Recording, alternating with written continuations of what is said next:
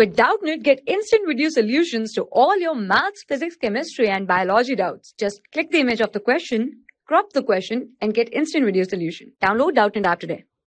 Hello everyone. So here's the question. Mention three useful and three harmful effects of the fungi. So what are the useful effects of the fungi? The useful effects of the fungi can be very first one is production of the antibiotics. And which antibiotic they are talking about? We are talking about the very famous one that is the penicillin. That is the penicillin which is a broad spectrum and is a very good antibiotic.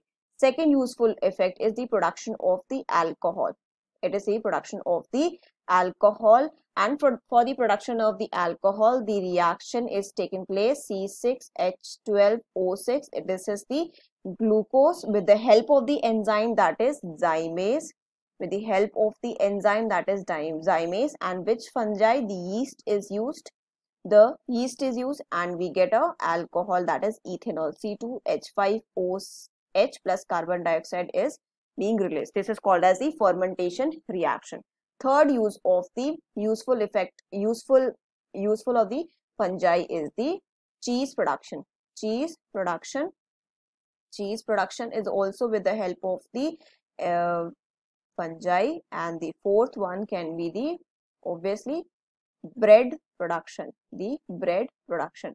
The enzyme as the yeast that is used for the production of the alcohol as well the as well as the bread is known as the brewer's yeast or the baker's yeast. For the production of the bread then it will be called as the baker's yeast and for the production of the alcohol it will be called as the brewer's yeast it is called as the brewer's yeast.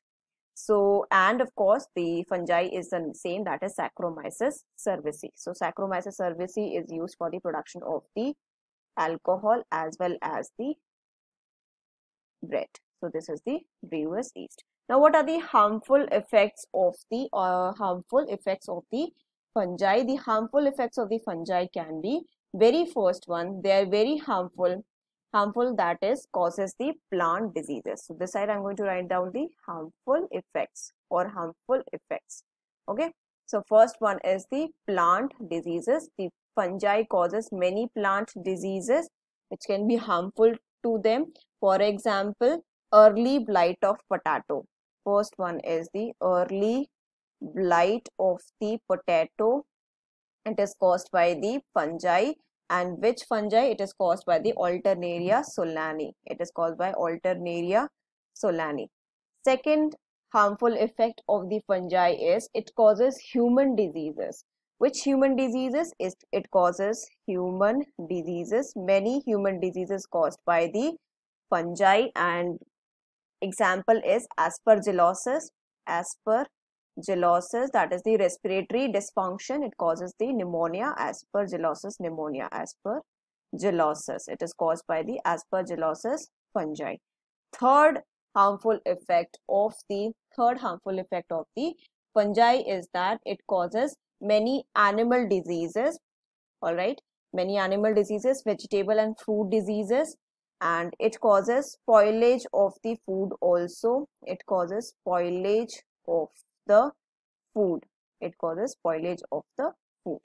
All right so these are the these are the harmful and useful effects of the fungi. Spoilage of the food of course you should know that mucor mucor causes the spoilage of the food. Then rhizopus also causes the spoilage of the food. Thank you. For class 6 to 12 IIT JEE and NEET level. Trusted by more than 5 crore students. Download Doubtnut app today